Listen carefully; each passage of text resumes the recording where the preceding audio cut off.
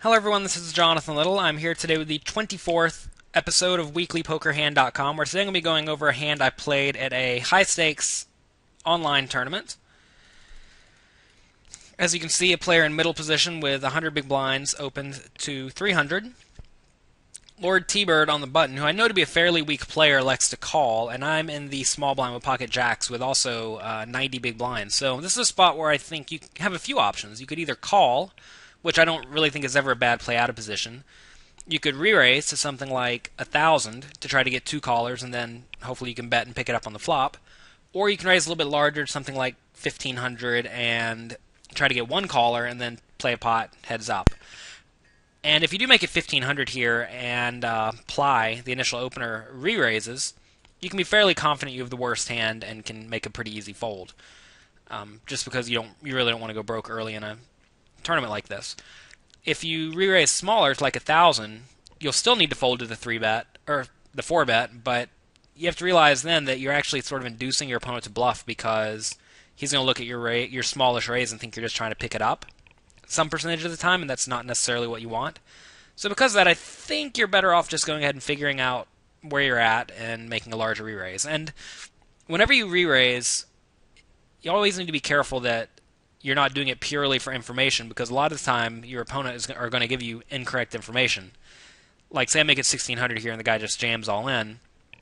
It's a terrible spot and I have to fold, but he could be doing it with like 9-7 suited because he thinks I have something like ace queen or pocket nines and then he thinks he can push me off of it. So you always have to be careful and know what your opponents are capable of. And I do need I do also know Lord T-Bird to be a weaker player, so I think he may call if I three bet large, even if it doesn't really make much sense. So that is what I do. I make it 1600 here, and sure enough, Lord T-Bird does call. And we flop pretty much the nuts. Uh, we flop top sets. Notice Lord T-Bird here has 3,900 chips behind, and there is currently 3,700 chips in the pot. So he has basically a pot size bet left. And this is a spot where I think a lot of players really mess up when they have pocket jacks in the spot. A lot of players think, well, I don't want to get outdrawn. But what you have to realize is that what's really going to outdraw you besides exactly two diamonds? And of course, he could have two diamonds, but that's like the only hand that has any equity whatsoever against you. So the only hands that have equity are suited hands that are diamonds. That's just going to be like one in eight times or something. He's going to have a flush draw.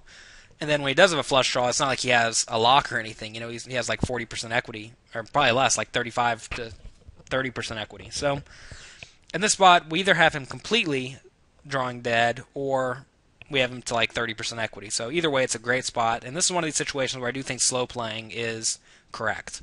And I don't really slow play that often, as you guys know from watching the first 23 weeks of weeklypokerhand.com. And if you have not watched them, I definitely suggest you go back and watch them. They're all free. You can get them very easily. Check them out. It's a very good learning tool. Um, but right here, I think it's a great spot to check because your opponent's just drawing stone dead, and you really want to do everything in your power to let him catch up. And the cool part about this is that you don't really need to bet to get the rest of his stack in the pot. If one more bet goes in, you're going to be able to get it all in. So right here, you don't need to bet to try to build a pot. If if we check here and he checks behind, my plan is going to be usually to check the turn, and then if he checks behind again on the river, I'm going to shove because then you know, I want to try to get a stack. So I do check the flop, and unfortunately, he does check behind. Turns a queen, which is effectively a blank again, but this is actually a very good card for me because now if he has king queen, ace queen, queen 10, anything like that, he's almost certainly going to get his money in. We may lose a little bit of value if he has something like pocket sevens, but um, that's really the only hands we're going to be missing value from are the smaller pairs, and he probably doesn't even have that. So I'm just going to check here again and hope he puts some money in. And here he bets 2100, which you know, it's kind of gross because at this point I don't really want to check call because if he has air, he probably isn't going to bluff the river. If he has something like 10-9, I definitely want to get it all in here. So I don't really want to call and then have him check it back when he misses. Um, I don't think he's. I guess right here, whenever I if I call, I don't think he's ever going to bluff the river because he should be able to look at this and realize that there is, you know, eight thousand chips in the pot, and I only have to put in seventeen hundred more. You know, I'm never ever folding. So because of that, I do think that right here we need to go ahead and go all in. And it's kind of gross though because if he has like stone air, like say he does have ace nine, he's just going to fold. But